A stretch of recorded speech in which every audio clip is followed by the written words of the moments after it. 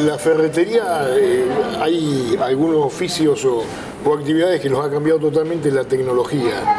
Pero en la ferretería no tanto, ¿no? Porque no tanto. el tornillo de tanto sigue siendo igual. Porque siempre vamos a recurrir al tornillito y al alambre de fardo para hacer una atadura. No hago provisorio, dicen, y capaz que quede un tiempo largo. Y es cierto, algunas cosas no han cambiado. con alambre de Argentina. estamos con alambre. es verdad, muchas cosas como que no se pueden reemplazar. Sí, sí. Está el taladro, tenemos que usarlo, tengo que perforar, quiero colgar un cuadro. Y muchas cosas van a seguir estando. Más allá de lo que vos decís, herramientas sofisticadas, todas muy modernas, pero sí, la ferretería para mí sigue siendo la ferretería, con todas las cosas nuevas que vinieron, eso es cierto. Claro, sí, sí. Eh, vuelvo a tu infancia, la escuela 27 y después a trabajar, como decías, ¿no? Porque, o, estudiar o trabajar y... La escuela 27, las películas que se daban ahí, las peñas que se hacían. antes le llamaban festivales folclóricos. Y bueno, y ahí me acuerdo que cantaba figuras, figuras importantes.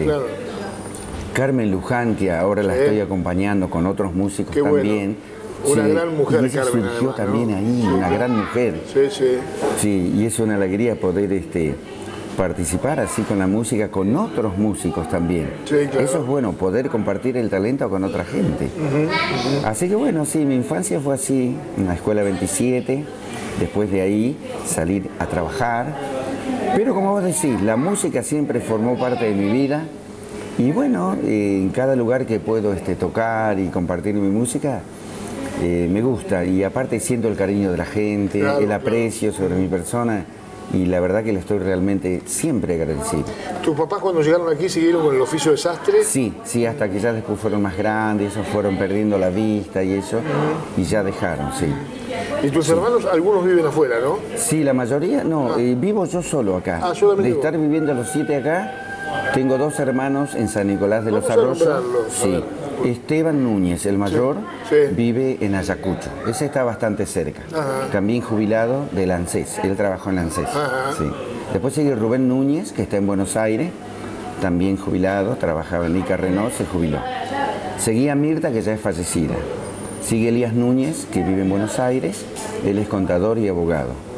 Después sigue Andrés Núñez, eh, que está viviendo en San Nicolás de los Arroyos también jubilado, una fábrica grande, Somisa, también jubilado.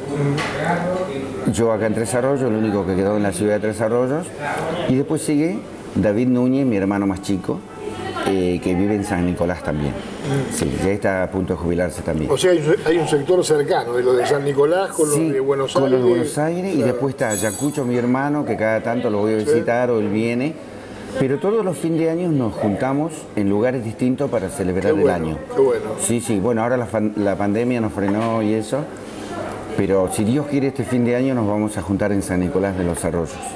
Nos juntamos todos, hacemos unos buenos asados, guitarreada de por medio. Y, también se van conociendo los más chicos. Y los más chicos también, los hijos, los nietos, claro. que hay muchos músicos también.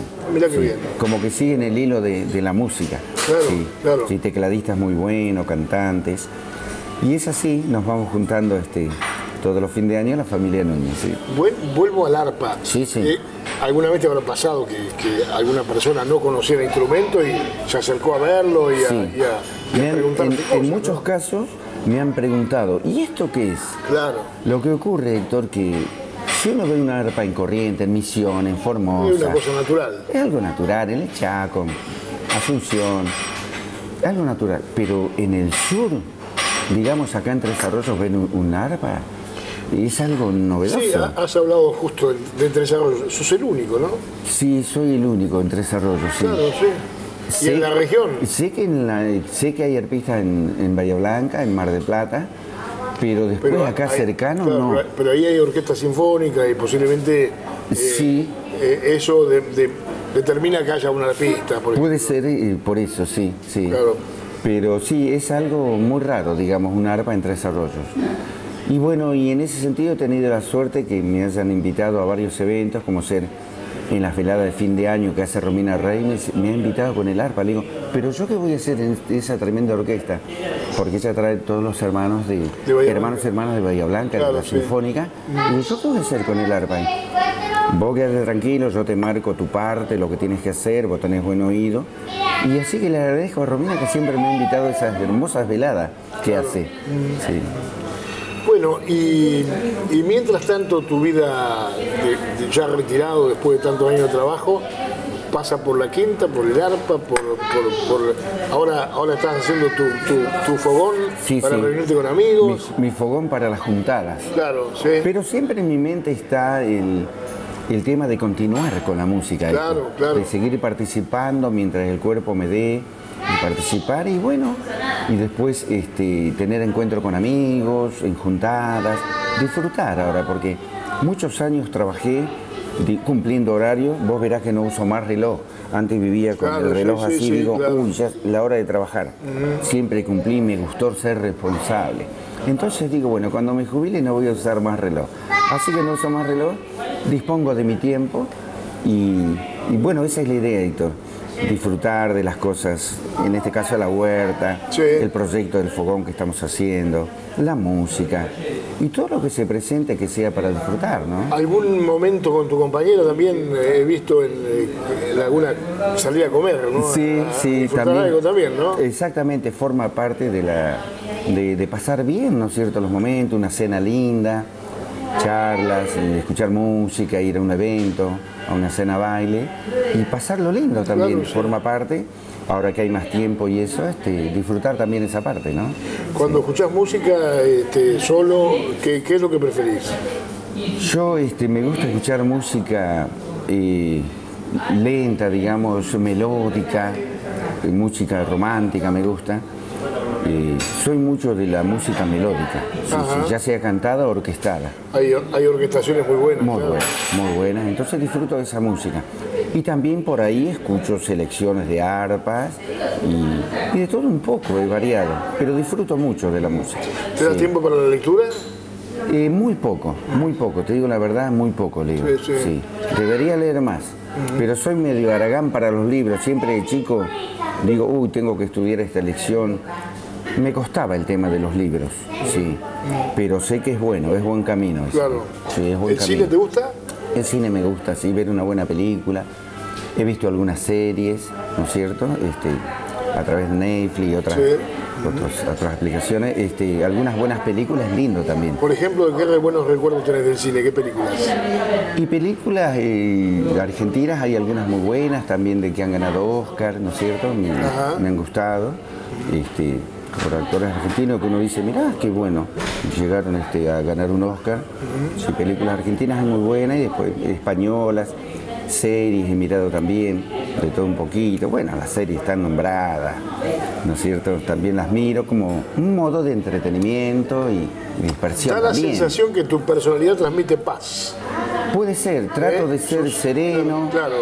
trato de ser sereno y quizás esto lo aprendí en el trabajo porque en el trabajo hay clientes de toda clase y por ahí venían algunos, por ahí un poquito agresivos. Y si yo respondía de manera agresiva, bueno, se formaba una discusión y una pelea y no sirve. Claro. No sirve. Digo, bueno, hay que contar los 10 del 1 al 10, ir para atrás, tranquilo, venir. No, pero tranquilo, señor, espere, lo vamos a solucionar. En todo caso, se lo podemos cambiar. Y quizás ahí me fue forjando a mí el tema de de mantener la calma, de buscarle la solución, ¿no? Y capaz que eso me sirvió a mí en la vida. Por eso quizás al hablar por ahí como que transmito paz, puede ser, puede ser que me ha ayudado en el trabajo. ¿eh? Claro. ¿Tenés descendencia? ¿Tenés una hija, me parece? Tengo una hija, sí, Noelia se llama.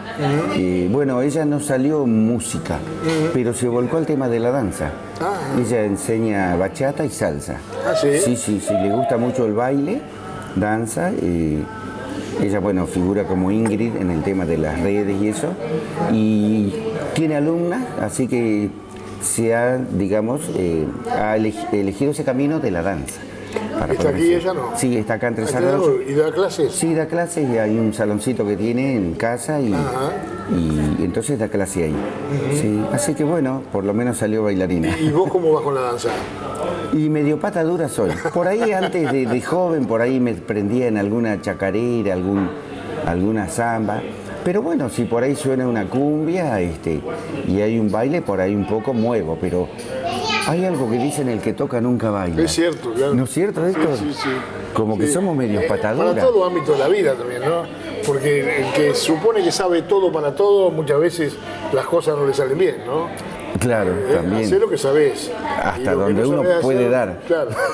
lo que no sabe hacer, aprendelo, pero no lo improvise, porque muchas veces los, resultados no son buenos, ¿no? Sí, no, por ahí este, si hay que bailar, sí, me paro y bailo, porque también es una forma de divertirse también. ¿Algunos se acuerdan un paso que tuviste por el programa de Tinelli? Sí, hace muchos años. ¿Cómo fue eso? Claro, resulta que Tinelli y su gente vino acá a hacer un casting. Yo me presenté en, una emisora local, fui con el arpa y el serrucho. Y bueno, y me dijeron, dice, bueno, el, arpa hay mucha gente que toca en Buenos Aires, pero nos interesa el tema del serrucho, dice. Y bueno, tanto es así que, que quedé clasificado y fui a tocar a Buenos Aires. Me acuerdo que era un día jueves, fue en vivo. Era el, en, el canal 9 estaba todavía, hace muchos años. Y bueno, y pudimos participar ahí en una selección que habían de todo, acróbatas, y bailarines, estaba yo con el serrucho, había un perro que hacía piruetas, era muy variada la ronda. Así que bueno, no gané, pero no gané nada, pero por lo menos pude participar. Una experiencia y conocer ahí los estudios y ver toda esa gente, ese mover que hay ahí, ¿no? ¿Te quedó el video ese? Me había quedado en una videocasetera y a los pocos días entraron a robar a mi casa y me robaron el video. Pero mira vos. No, no se puede creer. O sea, se fue una parte de la historia ahí. Segunda parte de la historia. Pero bueno, fue una experiencia muy linda estar en un estudio de televisión. Y más lo que era eso, ¿no? Tanto es así que el otro día yo llegué acá y andaba por la calle, te vi, te vi la tele, te vi. Digo, la, al poder de la televisión, ¿no? Exactamente. Sí. Eh,